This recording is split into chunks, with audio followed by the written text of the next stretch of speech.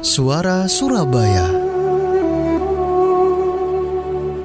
Pendengar Suara Surabaya, profesi saya sekarang adalah seorang dokter. Saya mengenang ketika saya dulu masuk ke dalam perguruan tinggi dan harus memilih dokter, ternyata itu adalah salah satu terkabulnya doa dari ibu saya.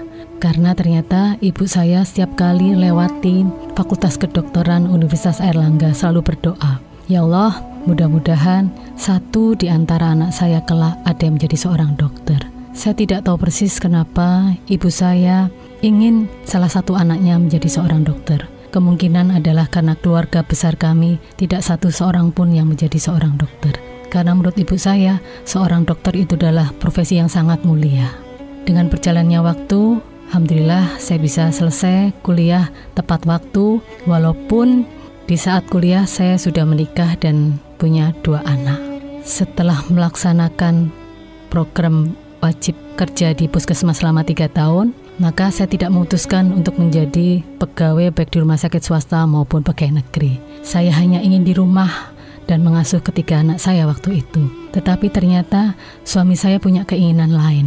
Beliau menginginkan saya sekolah lagi mengambil spesialisasi. Alasan beliau adalah tidak semua orang memiliki kemampuan dan kemauan untuk menjadi seorang spesialis. Saya mulai berpikir panjang.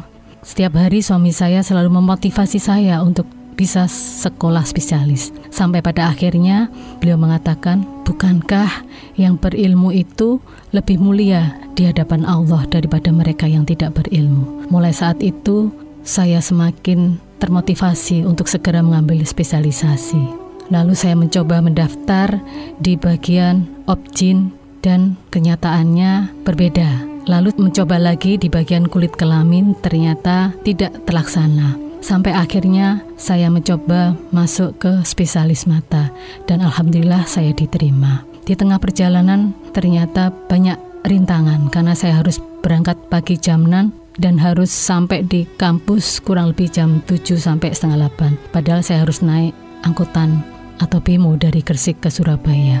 Sekitar satu tahun saya kuliah, ternyata saya hamil lagi anak kelima. Dan itu cukup berat dan sempat berpikir apakah saya keluar dan tidak melanjutkan sampai selesai spesialis mata saya. Dan kemudian saya telepon ibu saya.